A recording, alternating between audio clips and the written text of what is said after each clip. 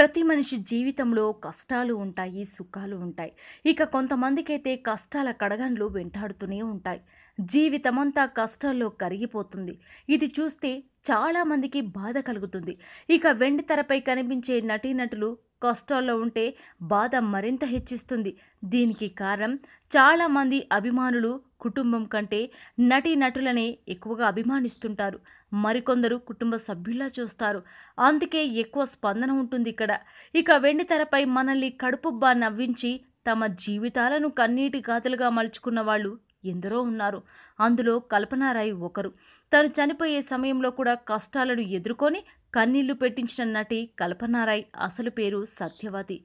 తూర్పు గోదావరి జిల్లా కాకినాడ సూర్యనారాయణపురంలో పంతొమ్మిది వందల నలభైలో జన్మించిన కల్పనారాయ్కి పదేళ్ళ వయసులోనే తల్లిదండ్రులు మరణించారు. కాకినాడ నుండి హైదరాబాద్ వెళ్ళిన ఆమెకు ఆమె అక్క తోడుగా నిలిచింది. రంగస్థలం మీద ఉన్న అనుభవంతో పంతొమ్మిది వందల డెబ్బై రెండులో ఓ సీత కథ మూవీతో టాలీవుడ్లోకి ఎంటర్ అయింది. దాదాపు ఐదు వందలకు పైగా చిత్రాల్లో తన నటనతో ముఖ్యంగా హాస్యంతో అందరినీ గిలిగింతలు పెట్టింది. ఆమె తెర మీద కనిపిస్తే చాలు నవ్వులు పూసేవి. ఆమె మేనరిజంతో హాస్యంపై ప్రత్యేక ముద్ర వేసింది. అయితే సినిమా పాత్రల మాదిరిగానే ఆమె నిజ జీవితంలో కూడా కల్లా కపటం కలమషం లేని మనిషి. అందుకే సినిమాల్లో బిజీగా ఉంటూ సంపాదించిన సొమ్మును తన దగ్గరికి సాయం కోసం వచ్చిన వాళ్ళకు లేదనకుండా సాయం చేసింది.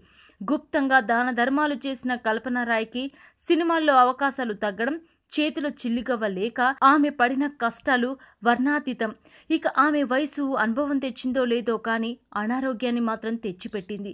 ఆ విధంగా మూత్రపిండాలు గుండె వ్యాధుల బారిన పడి ఆర్థిక ఇబ్బందులతో కొట్టుమిట్టాడింది. అలా చివరి దశలో కష్టాల కడగన్లను మిగిల్చుకొని ఆదుకునే వాళ్ళు లేక చివరికి కన్ను మోసింది.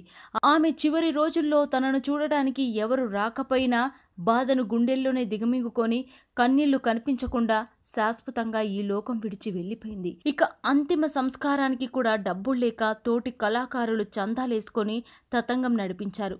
అందుకే అందుకే ఆమె జీవితం చూస్తే ఎలా పోయామన్నది ముఖ్యమనిపిస్తుంది.